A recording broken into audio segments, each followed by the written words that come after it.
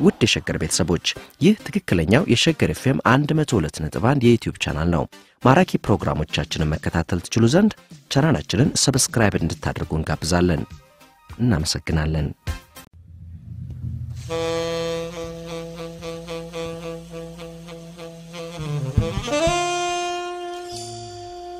እነሆ መቆያ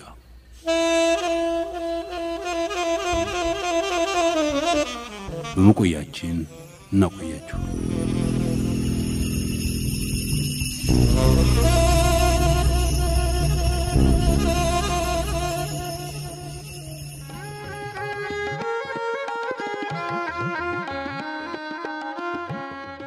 ባለፉት ዓመታት በመቆያ ካስተላለፍናቸው ዝግጅቶቻችን ውስጥ የባህል ተጽዕኖ በሕዝቡ ላይ የሚያደርሰው ስቃይ ይገኝበታል። የአጉል ባህል ቁራኛ የሆነ ማኅበረሰብ በሌላው ላይ ተነግሮ በማያልቅ ተሰፍሮ በማይለካ የስቃይ በረዶ እያወረደ ግን እንደ መልካም ባህል እየተቆጠረ ከትውልድ ወደ ትውልድ መተላለፉን ቀጥሏል። ሌላውን ዝቅ አድርጎ መመልከት ብቻ አይደለም፣ እስከ ሞት የሚያደርስ የአካል ጉዳት በሌላው ላይ ለመፈጸም በልማዱና በማኅበረሰቡ ባህል የተፈቀደለት ቡድን አለ። ልማድ የኮፈሱት ማኅበረሰብ የፈለገውን በደል ሲፈጽም የሀገሩ መንግሥት ተው አይለውም። የሀገሩ ሕግ አይዳኘውም። የሀገሩ የጸጥታ አስከባሪ ይተባበረዋል እንጂ አይቻልም አይለውም። ስለዚህ አንዱ ሌላውን በመከራ አለንጋ ሲጠበጥበው የሚያድነውና የሚታደገው የለም። ለዚህ አባባል እንደ ማሳያ የሚሆኑን የፓኪስታን ሴቶችና የታንዛኒያ ኤልቢኖዎች ናቸው። የፓኪስታን ሴቶች በልማድ እድፍ በቆሸሹ ወንዶች፣ በልማድ እግር ብረት በተቀፈደዱ የጎሳ መሪዎች ሴቶች የክብር ዕዳ ከፋይ ሆነዋል። ሴቶች ሰው መሆናቸው ቀርቶ ለወንዶች ባሪያ ሆነው ይሸጣሉ፣ ይገደላሉ። በፓኪስታን በተለይ በፑንጃብ ግዛት ለሚኖሩ ሰዎች መንግሥት አይታደጋቸውም። ፖሊስና ወታደር አይጠብቃቸውም። ምክንያቱም የመንግሥት አባላትና ፖሊስና ወታደሮች ጭምር በልማዱ ገመድ እየተተበተቡ ናቸው። ስለዚህም ሴቶች የሥቃይ ቋጥኛቸውን እንደ ተሸከሙ ናቸው። የታንዛኒያ ኤልቢኖዎች ጠንቋዮችን በሚያመልከው ማኅበረሰብ በአሰቃቂ አገዳደል እየተቀጠፉ አካላቸው የልማድ ቁራኛ በሆኑ ፖለቲከኞችና ሀብታሞች እየተገዛ ይኖራሉ።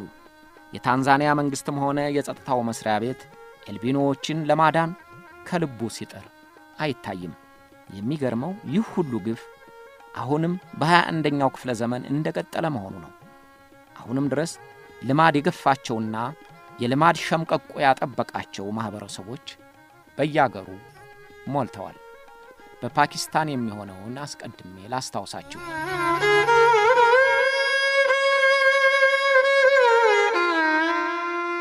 የፓኪስታን ሴቶችና የክብር ግድያ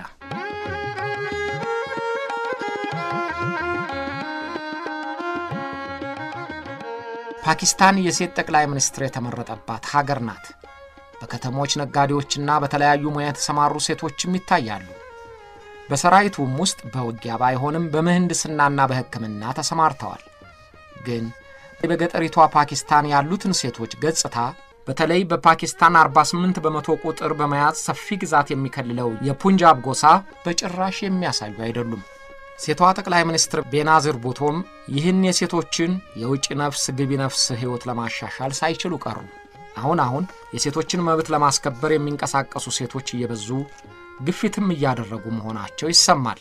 ሴቶች በወንዶች እንዳይጠቁ፣ የንብረት ተካፋይ እንዲሆኑ ጥበቃ የሚያደርግላቸው ሕግም እየተረቀቀ ነው። ግን ያ ረቂቅ እንዳይጸድቅ የሚቃወሙ መኖራቸውም ታይቷል። ለምሳሌ የእስልምና ኢዲዮሎጂ ምክር ቤት የዚሁ የልማድ እስረኛ ደጋፊ ሆኖ ብቅ ብሏል። በፓኪስታን የተቋቋመው የእስልምና ኢዲዮሎጂ ምክር ቤት ሀያ አባላት ያሉት መንግሥትን በሃይማኖትና በአስተዳደር በኩል ሊኖራቸው ስለሚገባው ቁርኝት እንዲያማክር የተመሠረተ ምክር ቤት ነው። ይህ ምክር ቤት የሴቶችን መብት እንዲጠብቅ ተብሎ በሚረቀቀው ሕግ ላይ አስተያየቱን ይፋ አድርጓል። ሴቶች ሳይበዛ መገረፍ አለባቸው የሚል አንቀጽ ይካተትልኝ ብሏል።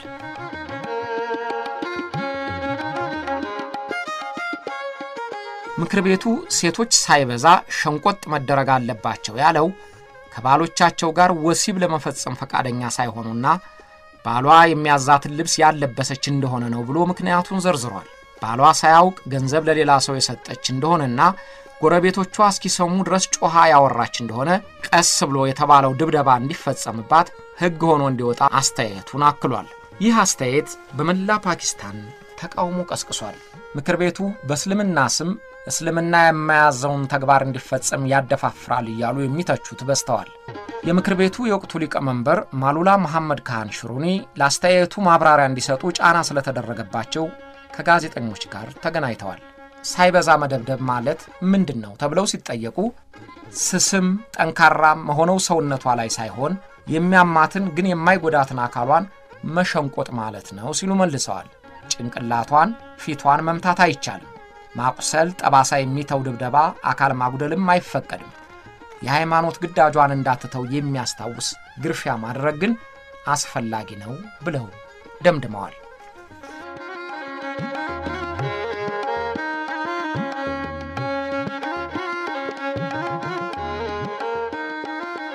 በፓኪስታን ጎሳዎች የሚሰራባቸው ጅራካ፣ ዚካ በሚባል የሚታወቁ መጅሊሶች አሉ። ክብር አጓድላለች፣ ስርዓት አዛንፋለች ያሏትን ሴት እስከ ሞት ድረስ ለመፍረድ ይችላሉ። በሀገሪቱ ሕግም በእስልምና አስተምህሮም የሌለ ቢሆንም ሲያያዝ በመጣው ልማድ መጅሊሱ ሴቶችን በአሰቃቂ ጭካኔ እንዲገደሉ ይወስናል። አልፎ አልፎ ካልሆነ ምን አገባህና ገደልክ የሚል የመንግሥት አካል አለመኖሩ ነው።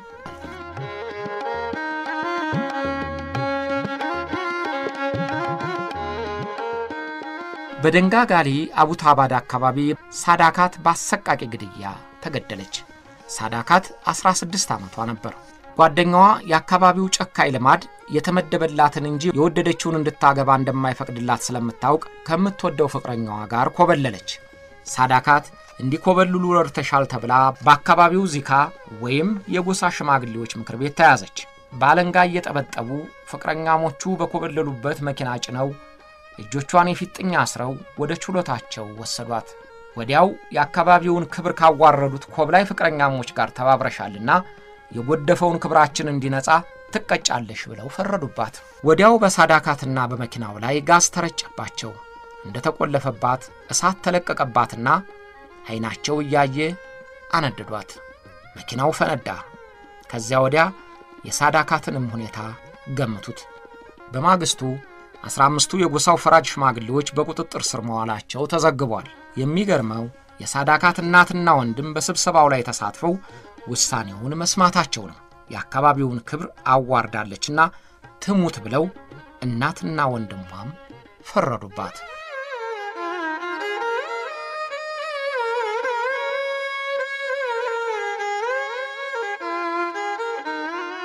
በፓኪስታን ሴቶች የክብር ዕዳ ከፋይ ሆነው በደማቸውና በአካላቸው በክብራቸው ጭምር ይገብራሉ።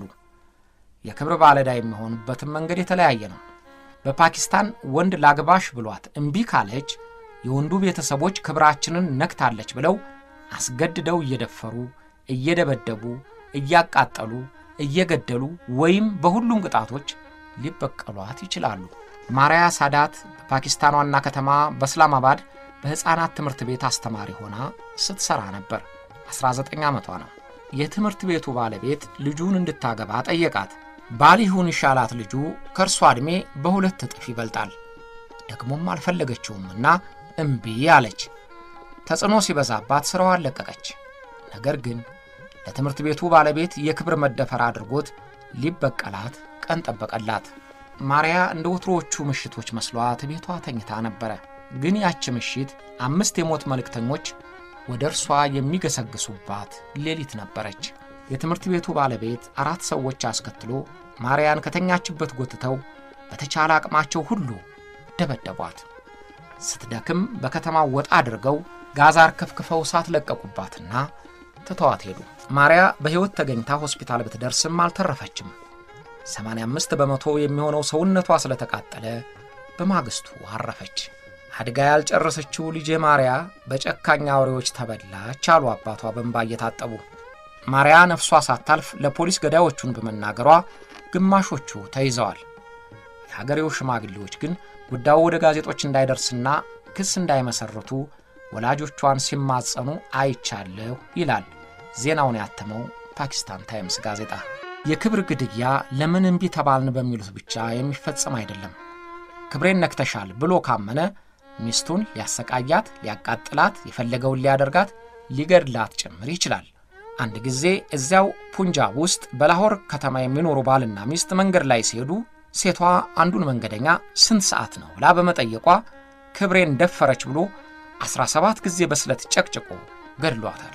በግድያው የአካባቢው ሰው ደግ አደረገ አለው እንጂ የፓኪስታን ሴቶች ካገቡ በኋላ የባላቸው ዕቃዎች ተደርገው ነው የሚቆጠሩት። ማንኛውም ሴት የባሏን ፈቃድ የመፈጸም ግዴታ አለባት። ባሏ ውሃ ለምን ቀጭን ሆነ ብሎ መግረፍ ብቻ አይደለም፣ አሲድም ይደፋባታል፣ ሰውነቷንም ያጎድለዋል። ባሌ አቃጠለኝ፣ ተኝቼ ሳለሁ አሲድ በተነብኝ ትላለች ዛኪያ። ዛኪያ ባሏ አንድ ምሽት የረጨባት አሲድ ግማሽ ፊቷን እስከ ከንፈሯ በልቶታል፣ አንገቷ ተመልጧል። እንዲያ ሆና ግን የትም መሄድ ስላልቻለች አሁንም ግፍ ከፈጸመባት ባሏ ጋር ትኖራለች። ከእርሱ የወለደቻቸው ልጆቿ ታመሙ ሲሏት ጎሽ ለልጇ ስትል ተወጋች ነውና ከሄደችበት ተመለሰች። በዚያም ላይ ነፍሰ ጡር ነበረች። ስለዚህ እምባዋን እያፈሰሰች ሙሉ አካሏን ይዛ በኖረችባት ቀዬ እርሷነቷ ተለውጦ ኑሮዋን እየገፋች ነው።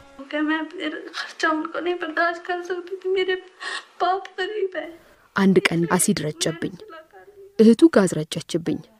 እንደዚያ ሆኜ ታፍኜ እንድሞት በሩንም መስኮቱንም ዘግተው ሄዱ። ከቤት ከወጣሁ ግን ልጆቼን ለማሳደግ አቅም የለኝም።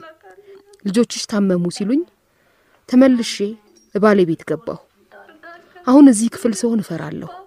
ያንን ሌሊት እያስታወስኩ እፈራለሁ። ገና ሲጀምር ጋብቼ መጥፎ ነበር ትላለች በድሪያ። ከባሏ ጋር ጥቂት ቆይተዋል፣ ወልደዋልም። ግን የባሏን የዕለት ተዕለት ድብደባና ጥቃት ችሎ መኖር አስመረራት። ስለዚህ ፍቺ ለመጠየቅ ወደ ፍርድ ቤት ሄደች።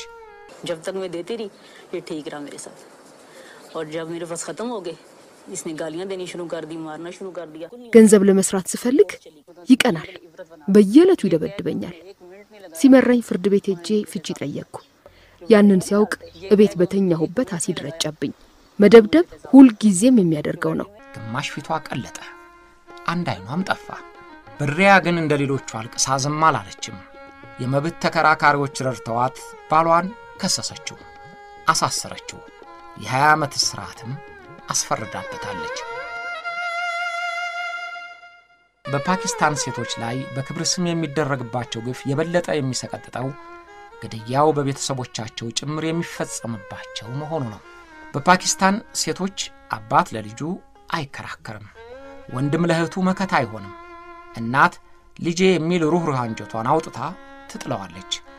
ክብራችን ተነካ እያሉ የገዛ ልጃቸውን እህታቸውን ይገድሏታል፣ ያስገድሏታል። ፋርዛና ኢቁባል የ25 ዓመታት ወጣት ነበረች። ቤተሰቦቿ ያጎቷን ልጅ እንድታገባ አጩላት። እርሷ ግን የምትወደውን አግብታ በላሆር ፍርድ ቤት ጋብቻቸውን አጽድቀው እየተመለሱ ነበር። ክብራችንን አስደፍራለች ብለው ከፍርድ ቤቱ ግቢ ጠብቋት የነበሩት አባቷና ሌሎች ቤተሰቦቿ በድንጋይ ናዳ ተቀበሏት።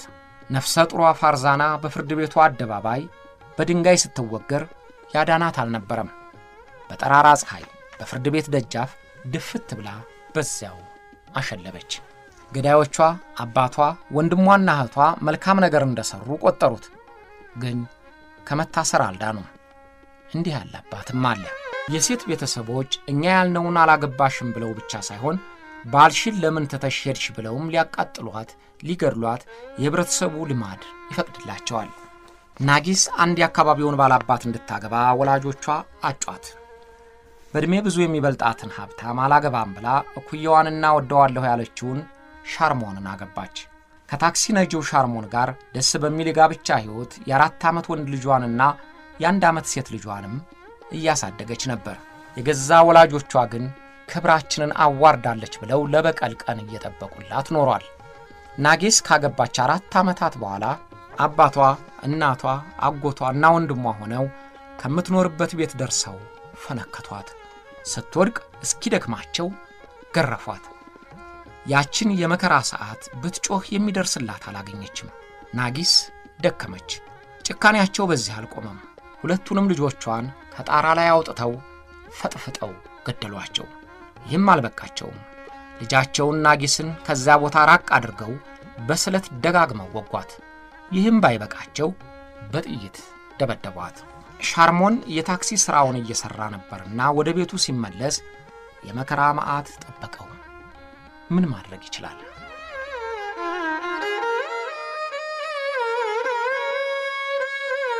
በፓኪስታን የሚታየው የክብር ግድያ ለወንድ ቤተሰብ ክብር ለመጠበቅ እንጂ የቤተሰቡን አይደለም፣ ወይም ሴት እንደ ቤተሰብ አባል አትቆጠርም። በፑንጃቧ ሳሂውል ነዋሪ የሆነው መሐመድ አሲፍ ሁለት እህቶቹን ገድሎ አመልጧል።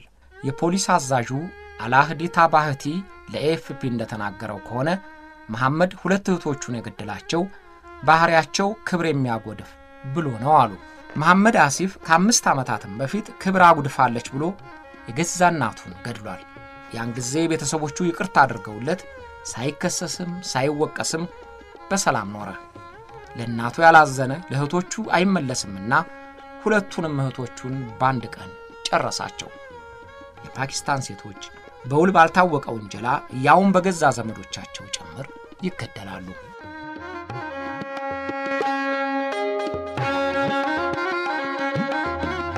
በፓኪስታን በተለይ በፑንጃብ ግዛት ያሉት ጎሳዎች ሴቶችን አስገድዶ መድፈር ለወንዶቹ ክብር እንጂ ነውር የለበትም። ለሴቷ ግን በመደፈሯ የደረሰባት ጥቃት ሳያንስ የክብር ዕዳ ከፋይ ትሆናለች። የተደፈረችው በግዳጅ መሆኑ ቢታወቅም ባሏ ወይም ቤተሰቧ አዋረደችን ብለው የግርፊያና የጥቃት በትር ያሳርፉባታል። ስለዚህ መደፈሯን መናገር ለሌላ ጦስ ማምጣት ነውና የሆዷን በሆዷ እያስታመመች በጸጥታ ማለፍ አለባት። ጂን ሜላ ብቻዋን በሆነችበት ቀን የገዛ አጎቷና የአጎቷ ልጅ አስገድደው ደፈሯት። ምስክር ስላልተገኘ ሊከሰሱ አይቻልም። የጂን ሜላ አበሳ ግን በዚህ ላይ አላቆመም። አርግዛ ኖሯል። ማርገዟ ምስክር አያስፈልገውም እና ከጋብቻ በፊት ወሲብ በመፈጸም የዝሙት ኃጢአት በጎሳው ሸንጎ ተከሰሰች። ጥፋተኛ ነች ተብላ መቶ ጅራፍ እንድትገረፍ ተፈረደባት። በገዛ ዘመዶቿ የተደፈረችው ጂን ሜላ ጥፋቱ የእሷ ሆነና መቶ ጅራፍ ትገረፍ ተብሎ ተወሰነባት። ወላጆቿ አጥብቀው በመለመናቸው ግርፋቱ ወደ ሦስት ዓመት እስራትና አስር ጅራፍ እንድትገረፍ ተለወጠላት። የፓኪስታን ሴቶች እንዲህ አይነቱ ፍዳ የየዕለት ኑሯቸው ነው።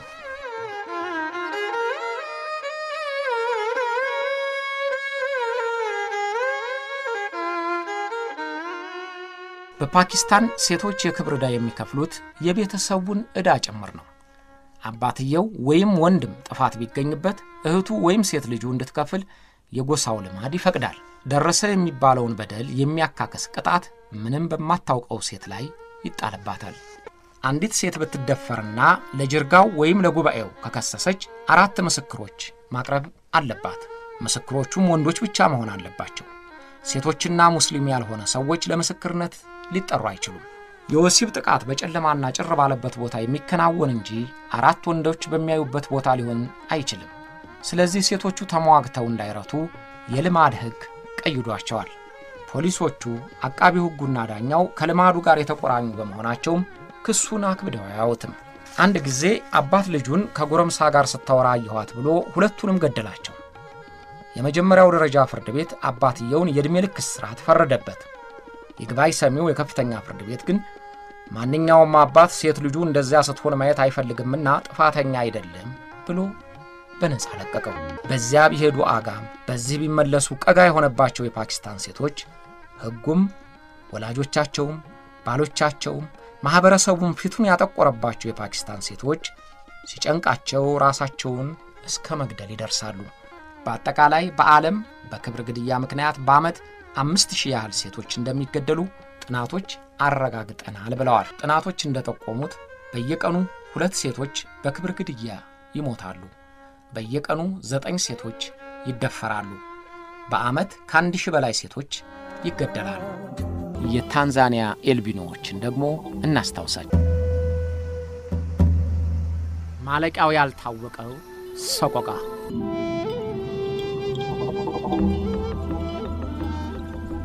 የአንዳንድ ሀገሮችን ነባራዊ ሁኔታ ጠልቆ ሲመለከቱት እንኳንስ ሊረዱት ቀርቶ የተደበላለቀና መያዣ መጨበጫ የሌለው ስሜት ይፈጥራል።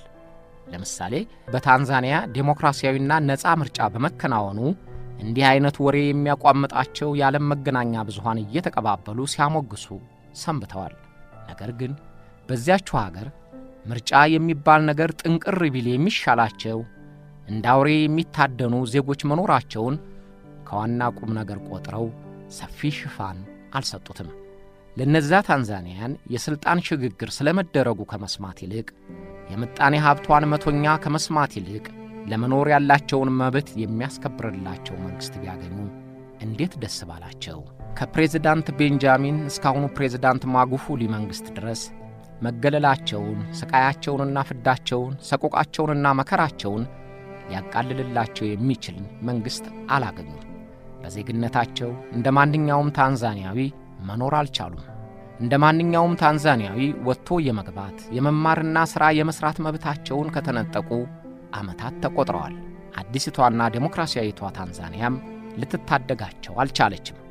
እንኳን ልትታደጋቸው የምትሞገስበት ምርጫ በደረሰ ቁጥር የታንዛኒያ ኤልቢኖዎች ሰማይና ምድር ይችሉት የማይመስለው ስቃያቸው ይጨምራል። የበለጠ የሚያስፈራው ደግሞ ታንዛኒያውያን ኤልቢኖች በገዛ ወገኖቻቸው በጎረቤቶቻቸውና በወላጆቻቸው ጭምር ከሚፈጸምባቸው ለጆሮ የሚሰቀጥጥ ግፍ በቅርብ ቀን ይላቀቃሉ ብሎ ለመገመት አለመቻሉ ነው። ኤልቢኖ ለቆዳችን ቀለም የሚሰጠው ሚላኒን የተሰኘው ንጥረ ነገር ሳይኖራቸው የሚወለዱ ሁሉ የሚይዙት ቀለም ነው። ሚላኒን ባልኖረ ቁጥር የሰውነት ቆዳና ጸጉር ነጭ ይሆናል። ዐይናቸው የፀሐይ ብርሃን አይደፍርም። ታንዛኒያ በርካታ ኤልቢኖዎች የሚወለዱባት አገር በመሆን ትታወቃለች። በሌላው ዓለም ከ20 ሺህ አንድ ኤልቢኖ የሚወለደው በታንዛኒያ ግን ከ1400 ውስጥ አንዱ ኤልቢኖ ሆኖ ይወለዳል። በአሁኑ ጊዜ በታንዛኒያ ከመቶ እስከ 150 ሺህ የሚደርሱ ኤልቢኖዎች ይኖራሉ ተብሎ ይታመናል። በበለጸጉት ሀገሮች የሚኖሩ ኤልቢኖዎች ለቆዳቸው የሕክምና መከላከያና መከለያ ስለሚያገኙ የሕይወት ዘመን ቆይታቸው ከሌላው ሰው አይተናነስም። ድህነት ባደቀቃቸው ሀገሮች የሚኖሩ ኤልቢኖዎች ግን ከ30ና 40 ዓመታት በላይ ዕድሜያቸው አይረዝምም። ምክንያቱም በድህነታቸው ምክንያት መከላከያ ስለማያገኙ በቆዳ ካንሰር ሕይወታቸው ይቀጠፋል። በታንዛኒያ የሚኖሩ ኤልቢኖዎች ግን ይችኑ 30ና 40 ዓመትም ለመኖር አልቻሉም።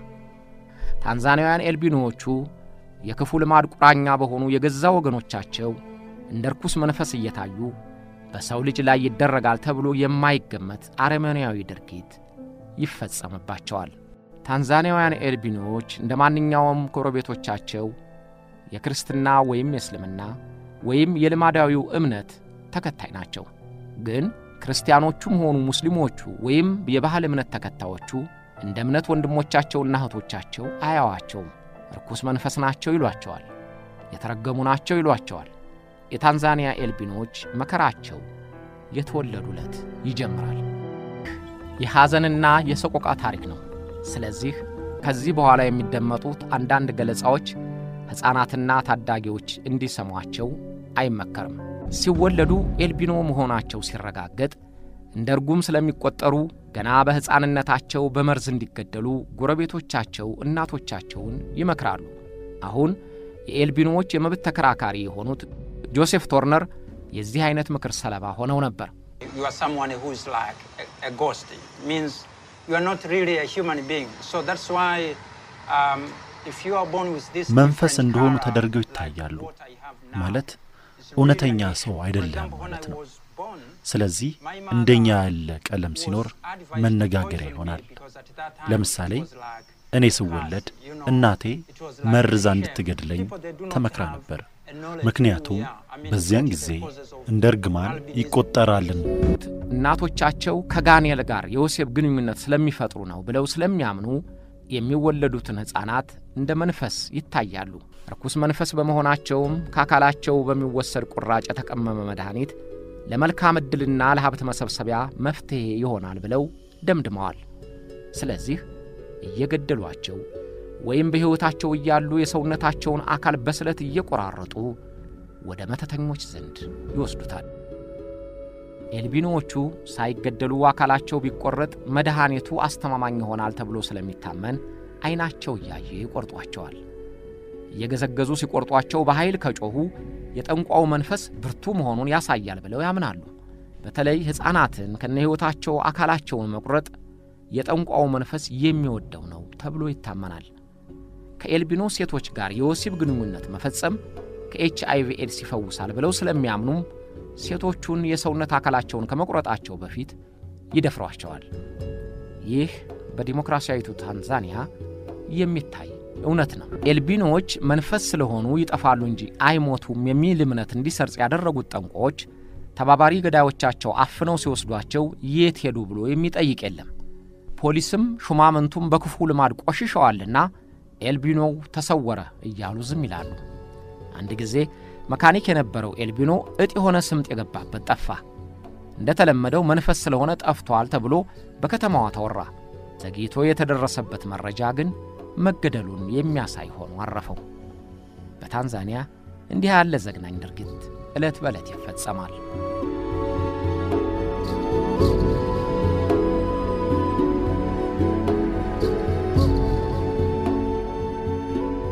በታንዛኒያ ከመናፍስት ጋር እንነጋገራለን የሚሉ ጠንቋዎች ለአልቢኖዎቹ የሰውነት መቆረጥ ቀዳሚ ምክንያቶች ሆነዋል። ጠንቋዎቹ የኤልቢኖን የሰውነት ቁራጭ ለሚያመጣላቸው ልቡ የተመኘውን ሁሉ ሊያሳኩለት እንደሚችሉ የሚናገሩት ታምኖላቸዋል። ስለዚህ የኤልቢኖዎቹን የሰውነት ቁራጭ ለማግኘት ገዳዮች ይሰማራሉ።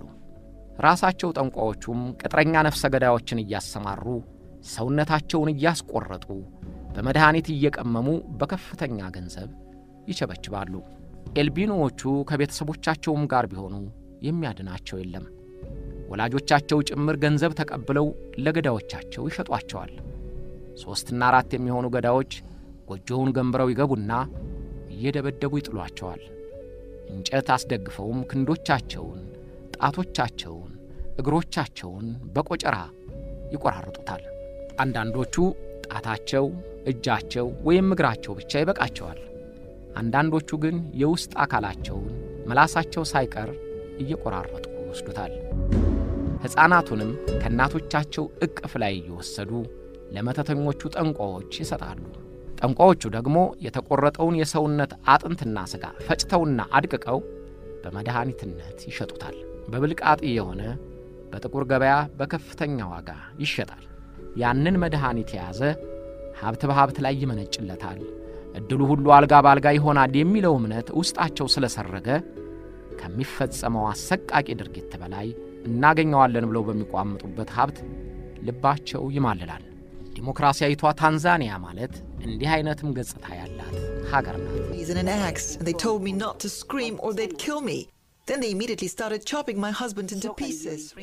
ሶስት ሰዎች በሩን ሰብረው ገቡና ባሌን ጎትተው ትከሻውን በመጥረቢያ መቱት። እኔን እንዳልጮህ አለበለዛ እንደሚገሉ ይነገሩኝ። ወዲያው ባሌን እፊቴ እጁን እግሩን ሊቆራርጡት ጀመር። ልክ ላም እንደሚያርዱ አይነት ነበር። ጎረቤቶቼ ሁሉንም ሰምተዋል፣ ግን ሁሉም ስለደነገጠ ማንም አልደረሰልኝም። አምስት ልጆቹን አፍሶ ተገደለ። ቁራጭ እንደ አይነቱ ዋጋ ወጥቶለታል። የቆዳቸው ግልፋፊ 6000 የእንግሊዝ ፓውንድ፣ የውስጥ የአካል ሰውነታቸው ከሆነ 65000 ፓውንድ፣ ሙሉ ሰውነታቸው ከሆነ 130000 ፓውንድ ይሸጣል። የ25 ዓመቷ ኤልቢኖዋ ሚላሞ ስታፎርድ ጥቁር ከሆኑት ወላጆቿ ጸጉሯም ቆዳዋም ነጭ ሆና ተወለደች። የዐይኖቿና የሽፋል ጸጉሮቿም ነጭ ናቸው። አንድ ቀን ማታ ለእህቷ መጽሐፍ እያነበበች ሳለች ፊታቸውን የሸፈኑ ገዳዮች የጎጇቸውን በር ገንብረው ገቡ። ገንባሪዎቹ በውስጥ ሆነው በትልቅ ድንጋይ በሩን ጠረቀሙትና በማሊሙ አይን ላይ ኃይለኛ ብርሃን ለቀቁባት። አንደኛው እጇን ወጥሮ ሲይዝ፣ ሌላው ከትከሻዋ በታች ያለውን አካሏን በሰላ ገጀራ ቆረጠው። ደሟ እንደ ቦይ ውሃ ይወርዳል። ትጮኻለች፣ ታቃስታለች፣ ግን የሚደርስላት አላገኘችም። ወላጆቿ በሌላ ክፍል በተኙበት በውጪ ቆልፈውባቸዋል። ገዳዮቿ ሁለተኛውን እጇን ለመቁረጥ ሲጀምሩ የጎረቤት ድምፅ ሲሰሙ ጥለዋት በረሩ። ይሁንና ሌላውንም ክንዷን በግማሽ ቆርጠውት ስለነበረ በሐኪሞች ከመቆረጥ አልዳነም። በታምር ነፍሷ የተረፈላት ሚላሙ የተቆረጡ እጆቿን ይዛ ቀረች። አደጋውን የጣሉባትን ወንጀለኞች የሚይዝላት የመንግሥት አካል አልተገኘም። ደሟ እንደ ውሻ ደም ፈሶ ቀረ። ያውም ሆኖ የእኔ ተመስገን ነው ትላለች። የሞቱም አሉ ስለማለት ነው።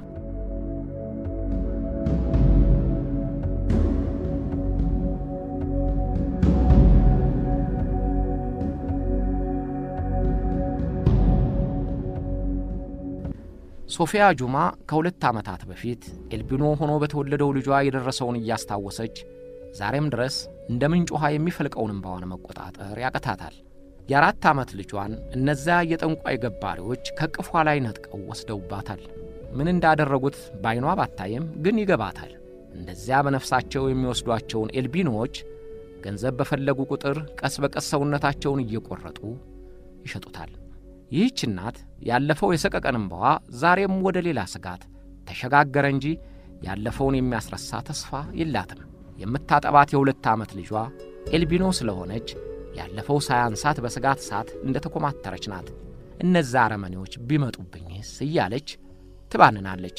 ጎረቤት አያድናትም፣ የፖሊስ ጥበቃም የለም፣ መንግሥትም ምረጪኝ ይላል እንጂ እንጠብቅሽ አይላትም።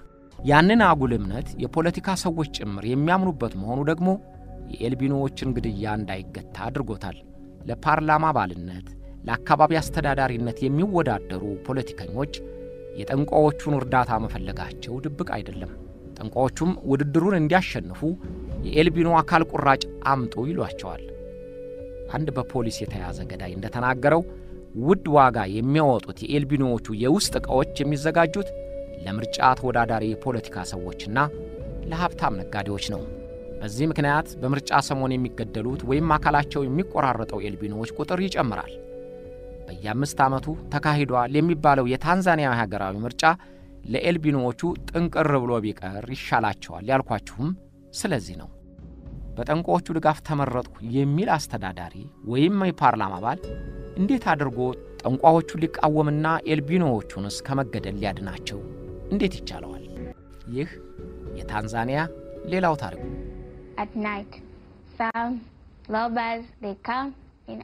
ከምሽቱ አምስት ሰዓት ወደ ክፍላችን ገቡ። ቅልጥሜን፣ ሁለቱን ጣቶቼን ቆረጡኝ። አሁንም ወደ መንደሬ መመለስ ፈራለሁ። ምክንያቱም ከተመለስኩ የተረፈኝን እጄን ይቆርጡታል። መተተኞቹ ጠንቋዎች የማዕድን ቦታ ላላቸው ኤልቢኖዎች የአካል ቁራጭ የተቀመመውን መድኃኒት ከመሬቱ ጋር ከቀበሩ አልማዝ ወይም ወርቅ እንደሚፈልቅላቸው የሚነግሯቸውን ያለማወላወል ያምናሉ። አሳ ለማስገር የተፈጨውን የኤልቢኖዎችን አጥንት በመረቡ ላይ ማስቀመጥ ሀብት እንደሚያዘንብላቸው የሚነግሯቸውን የተረጋገጠ እውነት አድርገው ይቀበሉታል። We started to live in fear for sure. Because they, again, the community members, like the family members, started to sell their fellows. Like my family, if I'm not careful, they are able to የምንኖረው bargain and they- በስጋት ነው። ምክንያቱም.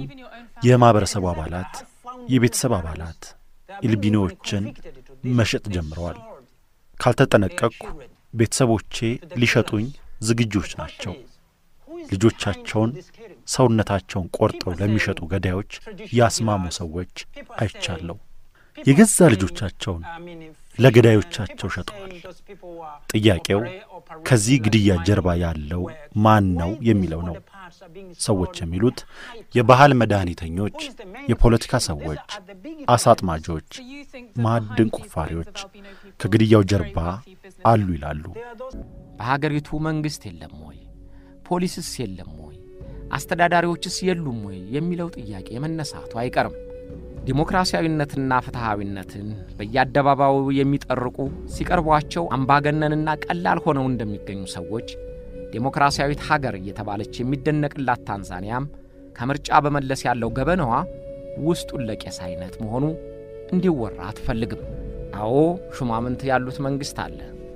አዎ ወታደርና ፖሊስ ያሉት በነፃ ምርጫ ተመረጥኩ በሚል መንግሥት አለ። ግን ዜጎቹ አካላቸው እየተቆራረጠ ፍዳቸውን ሲያዩ ሊታደጋቸው አልቻለም ወይም አልፈለገም።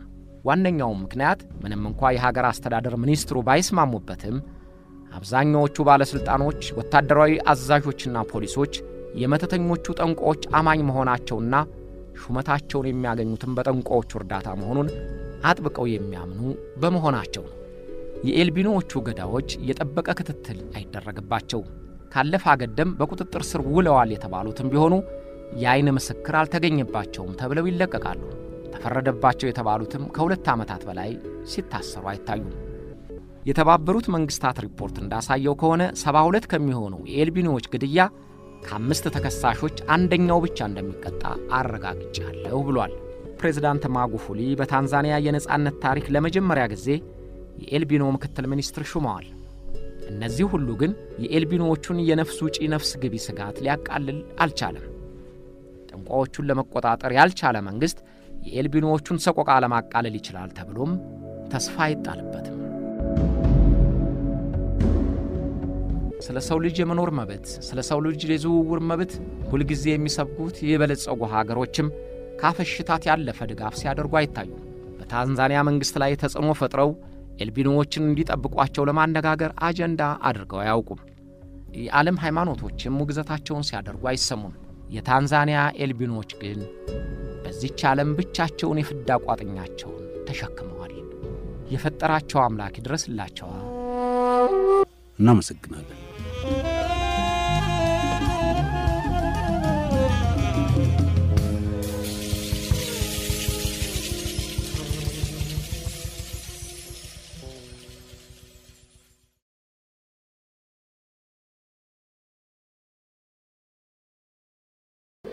ውድ የሸገር ቤተሰቦች ይህ ትክክለኛው የሸገር ኤፍኤም 102.1 የዩትዩብ ቻናል ነው።